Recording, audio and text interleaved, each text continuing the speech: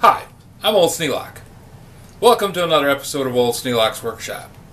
Well, we're going to take our nickel plating bath, nickel acetate, and see if we can plate some parts today.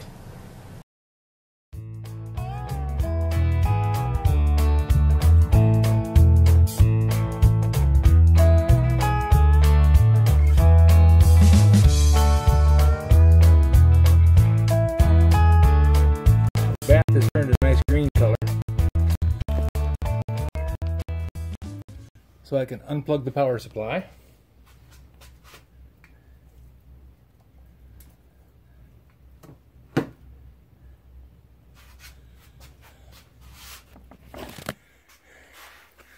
Now I just need to get a jar to put the parts that I want to plate in and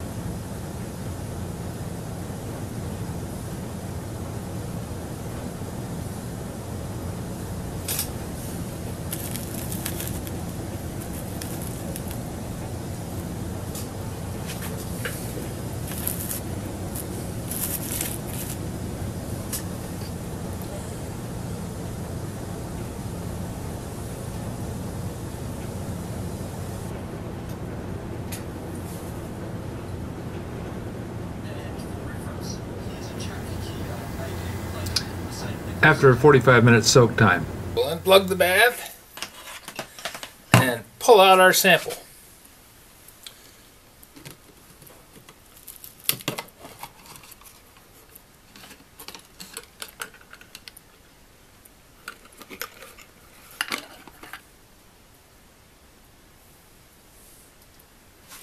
Well, I pulled them out of the bath and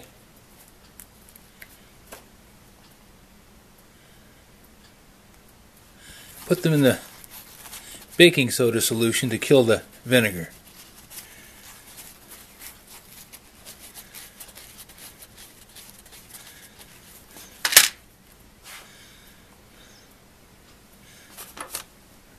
This is what they look like before they went in the bath. And this is what they look like after. This is a little grayer. This this has got a bit of shine to it. I think I'm going to take them over to the buffer and I'm going to try buffing just this top piece. Now it's it's not smooth. I didn't intend to plate these things, so I didn't even worry about whether I had them polished smoothly or not. But we'll see what happens. I'll buff a little spot on this and this, and we'll see what it looks like.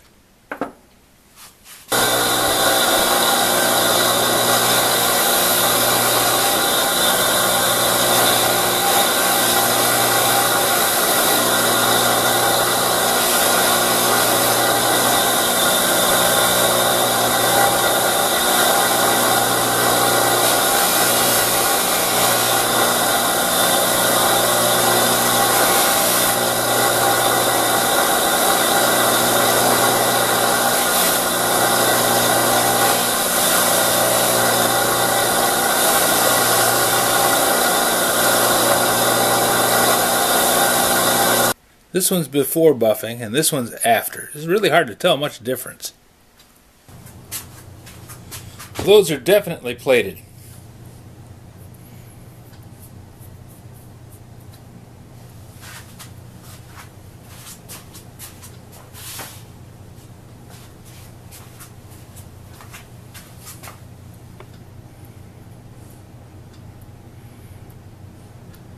This one is silver.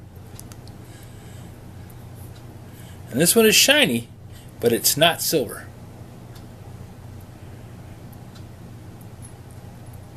So the plating works. Cool. Now we got to see if it holds up to uh, corrosion.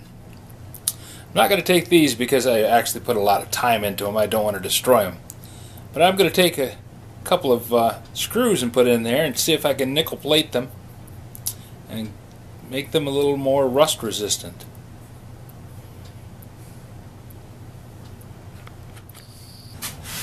Well, I think that was a success.